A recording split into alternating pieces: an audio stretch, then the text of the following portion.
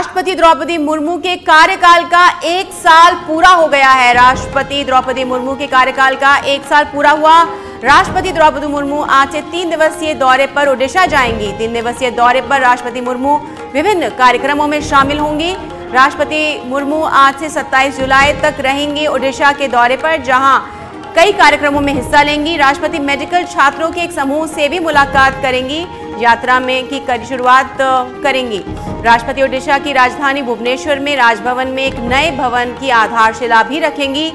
26 जुलाई को कटक में ओडिशा उच्च न्यायालय के पिचहत्तरवें वर्ष समारोह के समापन सत्र में भी शामिल होंगी। राष्ट्रपति द्रौपदी मुर्मू, आपको बता दें, उनके कार्यकाल का एक साल पूरा हुआ और आज से तीन दिवसीय ओडिशा दौरे पर है, जहाँ विभिन्न कार्यक्रमों में शामिल होंगे। आज से 27 जुलाई तक रहेंगे ओडिशा के दौरे पर। राष्ट्रपति मेडिकल छात्रों के एक समूह से मुलाकात कर यात्रा की शुरुआत करेंगी। इसके बाद में राजधानी भुवनेश्वर में एक कार्यक्रमों में हिस्सा लेंगे और उस पर अधिक जानकारी देने के लिए हमारे सहयोगी राजीव तिवारी फ़ोन लाइन पर हमारे साथ जुड़ चुके हैं। राजीव, क्या है राष्ट्रपति का कार्यक्रम?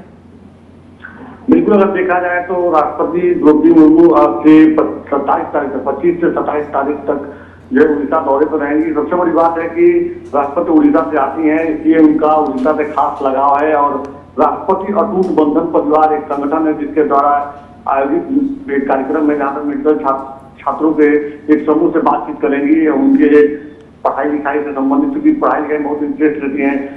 राष्ट्रपति तो उस पर चर्चा भी करेंगी और इसी दौरान बताया जा रहा है कि नए राजभवन के लिए आधारशिला जो है भुवनेश्वर में रखेंगे। और एक खास बात यही की पचहत्तर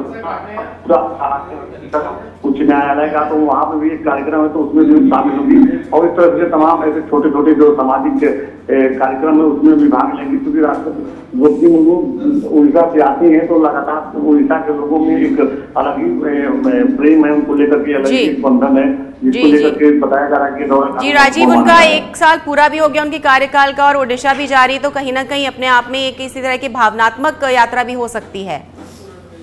बिल्कुल बिल्कुल सही कहा आपने। भावनात्मक यात्रा ही माना जाएगा क्योंकि आप देखिए कि जब राष्ट्रपति बनी थी तो किस तरह से पूरे उड़ीसा के लोग कहा जा सकता है कि गाँव गाँव से लोग दिल्ली चल करके आए थे उनको देखने के लिए उस कार्यक्रम को देखने के लिए जब वो राष्ट्रपति भवन में नई सीट हुई थी जो अपने पुराने आवास पर रहती थी। तो कहा जा सकता है कि लोगों के और लोगों के मन में उनको लेके एक अलग ही एक प्रेम है कि कितना संघर्ष करने के बाद वो इस मुकाम पे पहुँची हैं और एक बार पूरा होने के बाद कहा जा सकता है अपने गृह राज्य जा रही हैं। बिल्कुल। तो काफ़ी महत्वपूर्ण जी राजीव हमारे साथ बने रहिए दोबारा आपसे अपडेट लेंगे दूसरी खबर की ओर।